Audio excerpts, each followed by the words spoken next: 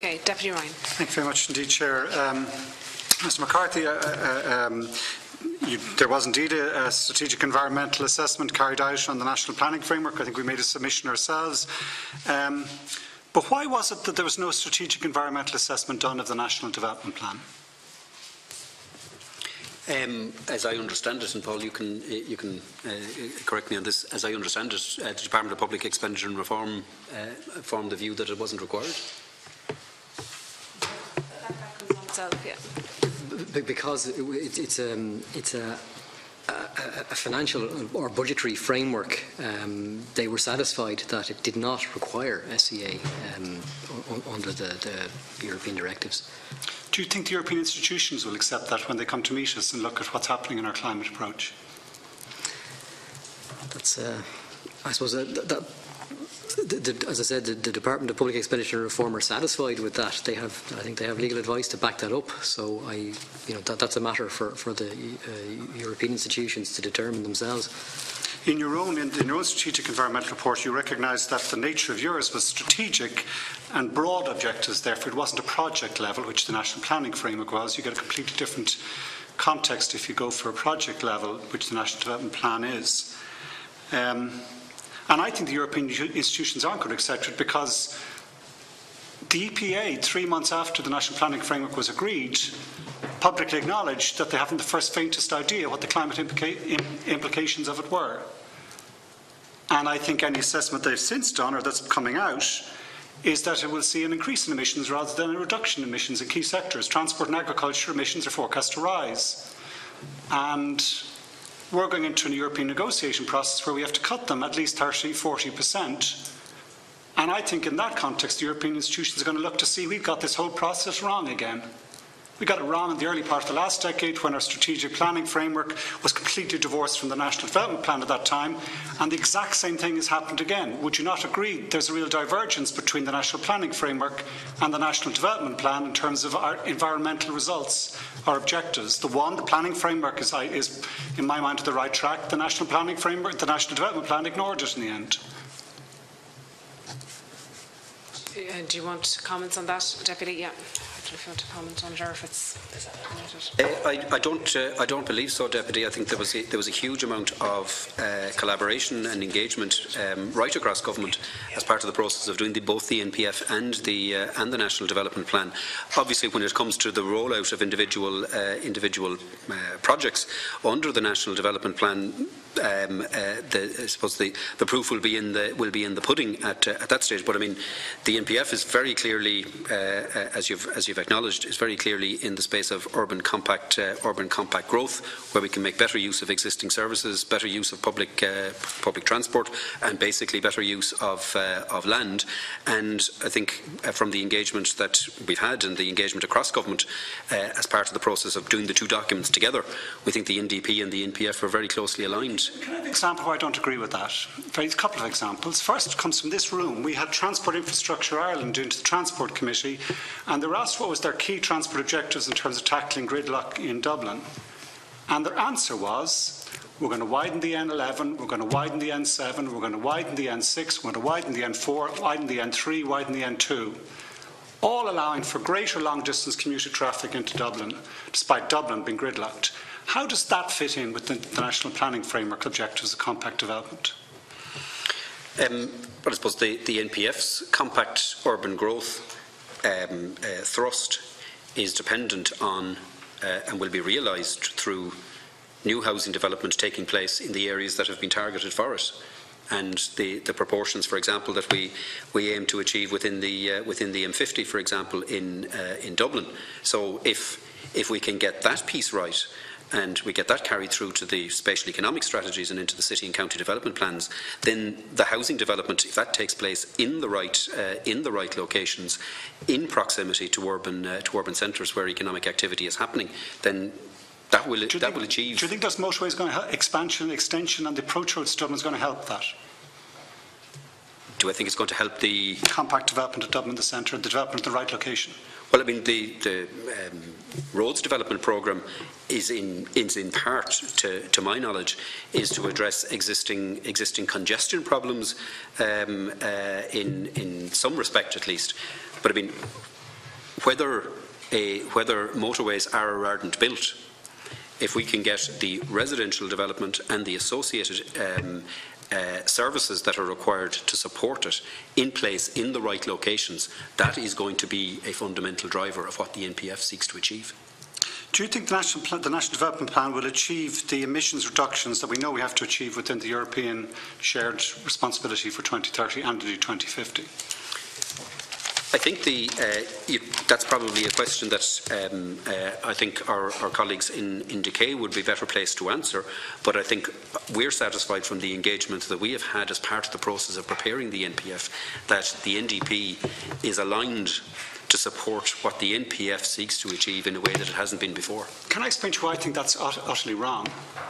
Um, we've heard the Minister for non-stop going on about he's cornered 23 billion of spending. 13 of it is existing investment by ESB EirGrid, which they happen every year on grid investment. That's, that would have happened anyway. And in the retrofitted buildings, which should be the most successful, the most carbon efficient reduction, the most first thing we do, there's a 3 billion figure for the next 10 years, I think, isn't it? What you said here today when you were asked a question, um, how much of that social housing retrofit you would do, you said it would depend on the money. In other words, it's dependent on the Department of Public Expenditure and Reform. How many of those 40,000 houses you cited at the cost, as Deputy Pringle discovered, of about a billion, if there were 30 grand, 25, 30 grand to deep retrofit each, how much would the, would the carbon saving from, that, from those 40,000 houses being retrofitted? I don't have that calculation with me. How come we're not, if we're going to face the European Commission in a couple of months' time, where we have a 50 million tonne at least shortfall, we do have those calculations, and that actually rather than going to finance our Department of Public Expenditure Reform begging for money, we're going saying, here's our project, 40,000 houses, we'll save X amount of carbon, this is the cheapest carbon saving that you can achieve to meet this agreed treaty-based European institution signed off at every level, rather than going cap in hand, as we, we heard here today to Department of Public Expenditure Reform, please give us some money. Why don't we base this, or hope, if the National Development Plan was based around climate objectives, you'd know that figure. You would be in a much more powerful position with the Department of Public Expenditure Reform. How come that level of engagement between the departments is not happening? Well, I think, um, I mean, the point that I was making in relation to how quickly the retrofitting exercise will be completed, it is ultimately down to um, uh, the, the level of financial resources that are made available. But that's not to say that in going looking for those resources, that of course we wouldn't marshal all of the, the, the positive impacts that would flow from uh, the retrofitting programme, not just in terms of carbon, uh, carbon emissions, but also in terms of health. Uh, and this is a difficult area to try to quantify, but there are health and comfort benefits. How uh, much of that- that three, three billion are you going to get? well, I can't tell the I can't tell the future, but um, we will certainly be, as we move on and finalise our arrangements for phase two, we will certainly be pressing strongly for as significant a programme of investment as we can possibly get in order to deliver the retrofitting programme as quickly as we possibly can. How did we sign off on a national development plan and put a three billion figure down, and we didn't know where the money was going and what the carbon abatement or reduction would be from it? How come that wasn't done as part of the national development plan process? Within the, the 3 billion, um, obviously that is targeted towards retrofitting generally. We will, and public funding um, uh, is something that, for, for the public housing stock, that we will be looking to prioritise as part of the distribution of that, uh, of that uh, overall pot of money. But it is ultimately going to be, it is ultimately going to be a, as is always the case, it is ultimately going to be a, a fight for uh, a fight for resources, marshalling the arguments that can be brought to bear in terms of what the resources will actually achieve in climate, in health, and in other terms. We've just got the department, PK's, um, sorry, that's not it. We just got their submission, the public consultation paper on um, the writing of the National Energy and Climate Action Plan, which is the first draft has to be done by the end of the year. I'll have to be saying, first read, it's unintelligible, and I think God help any person, member of the public, trying to make a submission on it. But surely, as part of this process, you will have to have an answer to that question, and indeed it might not be, I don't think it'll be a 3 billion figure, I think it needs to be a multiple of that. Because we're facing 600 million euro fines a year at least for the carbon gap we're facing. You surely, in the retrofitting of public buildings, John Fitzgerald suggested it should be 5 billion spent on social housing alone. Our climate reputation, increasing after the budget yesterday, is in a state of tatters. Our government's outlook and management of it is really open to question now. Surely you'll have to answer to some. Surely you're going to your colleagues by Christmas and saying, "Here's our contribution to the 50 million. If we did not not 40,000 houses, if we did 100,000 houses, this is the amount of carbon we'd save. This is the amount of cost. This is the amount of fuel poverty we would reduce." Why aren't you doing that as part of this process? Well, I suppose we, I mean, we, we are doing uh, we are doing a lot as part of this uh, this process in terms of what we're doing in terms of building regulations. So that we're actually this is actually these are new performance requirements that we're going to be uh, we're going to be introducing that will apply across housing developments generally and will apply across major major renovations.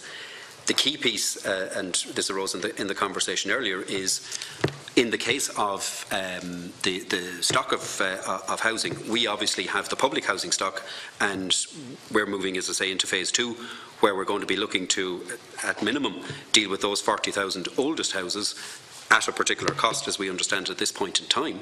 But the key piece is going to be how the, um, the remaining resources are going to be deployed in order to bring the balance of the, of the, the private housing stock Okay. into, into a better place. In, I, I'm afraid I'm with Mary Donnelly on the terms of um, continue to use fossil fuel heating.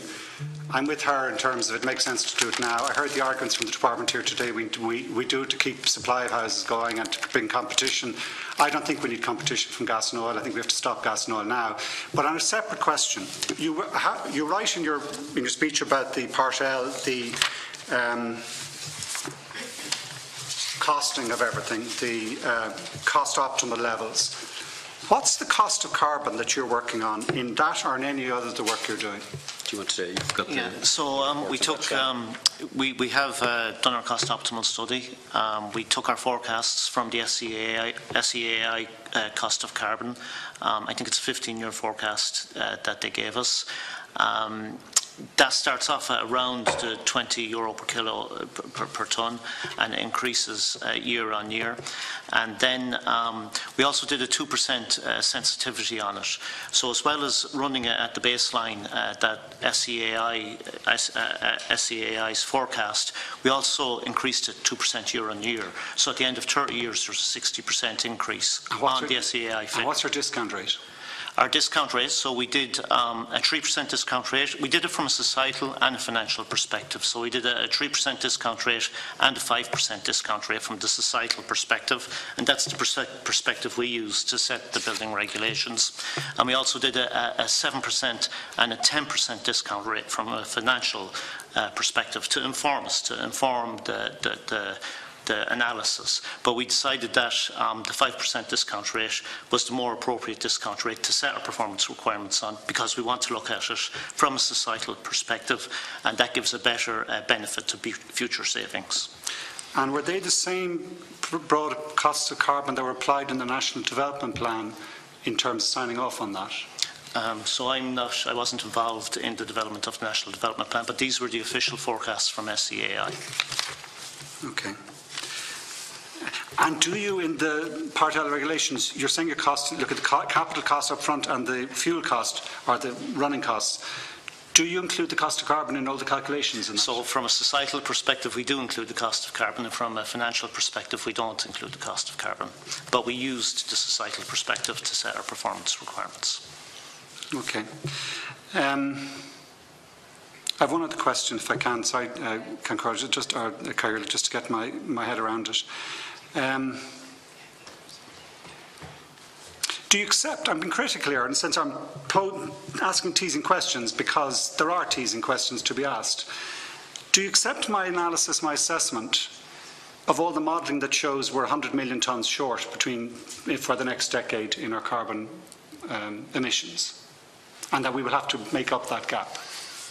I think I, for in terms of uh, in terms of gap, um, deputy, I would rely on the, the EPA do an annual uh, an annual profile in relation to uh, in relation to that. I don't know whether the figures that you're you're quoting relate uh, exactly to that, but I mean they do go through a very uh, a very uh, precise uh, annual exercise. So um, I think the, the figures in terms of the gap are, are clearly identified in that. And, and so how is it that the public service is not engaged in a process? You're not coming forward. I've had three Secretary Generals here now, and not one of you have actually seemed to be engaged in the process of closing that gap. In recognising that our national development plan isn't good enough, that our national mitigation plan won't do it, that the scale of ambition is a multiple of what we need to be doing. Why is it that I've had three sect- we've had three Secretary Generals here now who have refused to recognise that reality? Um, well, I think in terms of closing the uh, closing the gap, uh, obviously our further move towards NZEB is uh, an important piece in terms of closing the uh, closing the gap. Our um, intention to move on to a phase two of retrofitting of the social housing stock is an important step in closing the uh, closing the gap, and we are working with as part of the process that I think the uh, Department of, uh, of Climate Action mentioned to you about the process that they are engaging in to look at basically what are the range of options that government is going to have to uh, choose from in order to ensure that the gap is actually bridged. Just last question.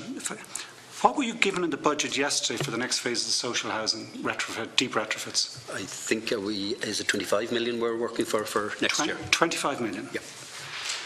Now, we don't know because you, don't know, you couldn't give me the figure of what the actual emission savings would be, but I'm fairly sure if we go on that trajectory to meeting the 2030 target, and when I know what's happening, there's not a single public transport being built this year or next year. Um, our transport emissions are rising 4% per annum. Our agricultural emissions are rising. It's they're rising everywhere. Improving the NZ building standards is not going to deliver the scale of emissions reduction that will see your department contributing to getting this country out of a hole, which is the 600 million euro fines we're facing, and Europe's not going to let us off this on this one.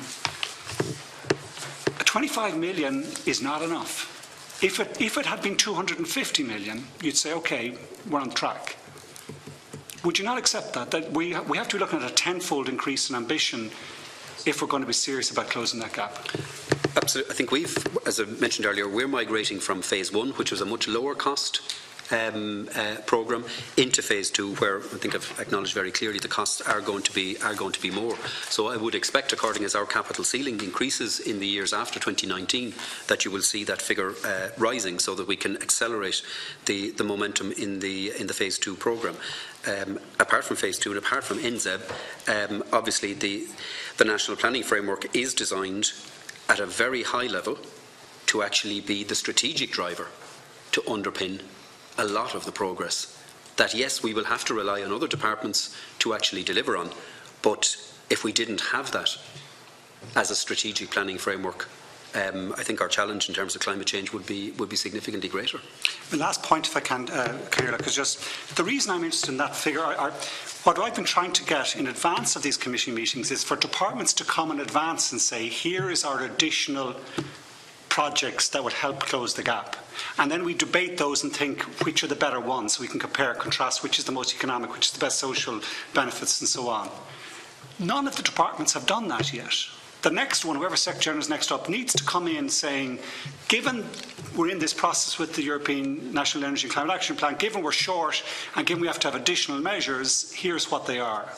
If you could, in writing, just following up this commission, present analysis in written form as to what the emissions reductions would be from a much bigger, or from the current planned, but even a scaled up retrofit of deep scale of deep buildings, and a rough cost abatement curve in terms of what it's going to cost us, benefit us, and or what's going to cost. I bet you it's going to be the winning project. I bet you you'd scoop the pot. So your department should be doing it as a because you're going to be a better, but it should be carbon led, not just for Department of Public Expenditure and Reform. And the last point, just the reason why I was very keen on that memo from the joint, the forum you have with the Department of DPER and other departments on the implementation of the National Development Plan, is Mary Donnelly from the European Commission recommended that there be some sort of monthly meeting of top senior civil servants on this climate, climate issue and that they would report to government every month, quarterly reports, much more significant reports.